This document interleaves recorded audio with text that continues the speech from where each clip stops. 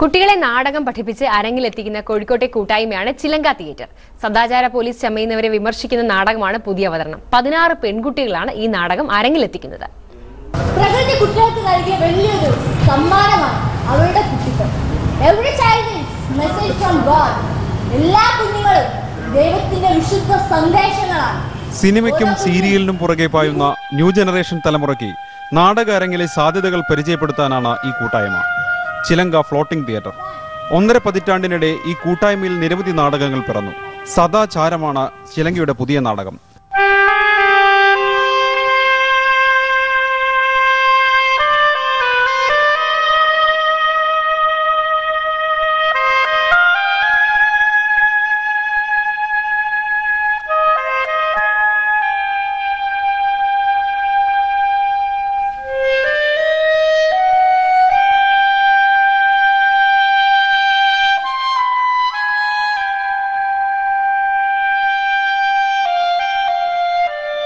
കോഴിക്കോട് ജില്ലയിലെ പതിനാറ് കുട്ടികളാണ് വേഷമിടുന്നത്.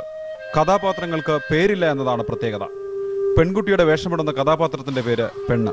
ഈ നാടകം ഇന്നിപ്പം ഇവിടെ കുറച്ച് ആൾക്കാർ വന്നിട്ട് കുറച്ച് ആൾക്കാരാണെങ്കിൽ അവർ തന്നെ ഈ നാടകം കണ്ടിട്ട് അവരെ മനസ്സിൽ ഇത് ഉൾക്കൊള്ളണം.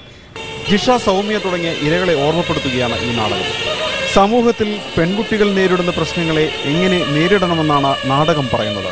സ്ത്രീകൾക്ക് സ്ത്രീകളെ കുറിച്ച് പറയണമെന്നുണ്ടെങ്കിലും ആരും അതിനുള്ള തയ്യാറാവുന്നില്ല. പാരൻസിന് അത് മനസ്സിലാവുന്നില്ല. കുട്ടികളെ കൊണ്ട് ചെയ്യിപ്പിക്കണം. അത് നമ്മുടെ പെൺകുട്ടികളുടെ കാര്യമാണെന്നുള്ളത് അവർക്ക് മനസ്സിലാവുന്നില്ല.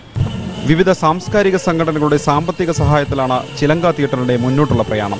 നാടക കലാകാരന്മാരും സഹോദരങ്ങളുമായ ബിച്ചുവും സുനിലുമാണ് ചിലങ്കയുടെ അണിയറയിൽ.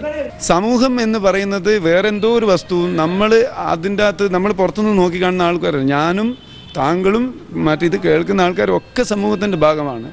സോ നമ്മൾ വിമർശിക്കുന്നത് നമ്മളെ തന്നെയാണ്. നമ്മൾ എന്തുകൊണ്ട് എന്തുകൊണ്ട് നമ്മൾക്ക് ഇങ്ങനെ ചിന്തിക്കാൻ കഴിയുന്നില്ല?